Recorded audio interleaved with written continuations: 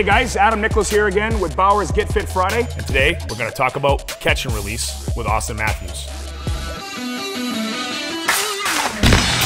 So Auston Matthews was the number one overall pick last year for many reasons. But one of the things that separates him from many others is the ability to catch and release in full stride with incredible speed and power. So let's take a look at what makes Auston's shot one of the best in the game. Weight shift, downforce, and release.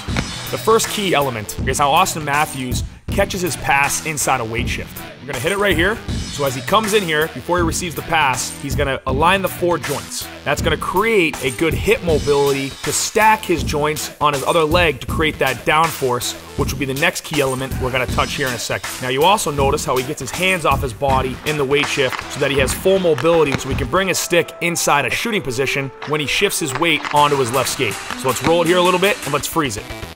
He's gonna shift his hips and he loads and gets that puck all into the shooting position, all off his hip mobility inside his weight shift. Catching the puck inside the weight shift allows you to get that puck into shooting position much quicker.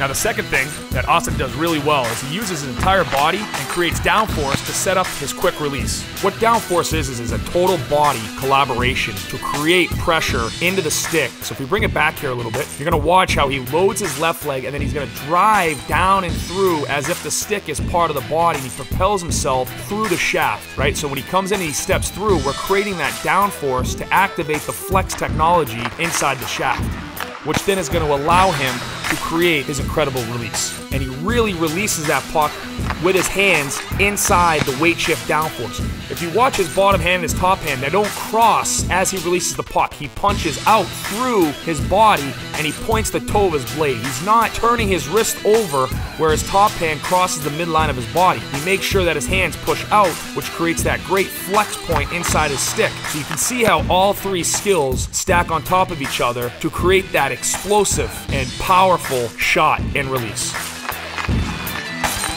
That's it for this week's lesson. Keep working on that catch and release to score more goals with those three key elements weight shift, downforce, and release. Keep working hard every time you hit the ice to take your game to the next level. Have fun, and we'll see you soon.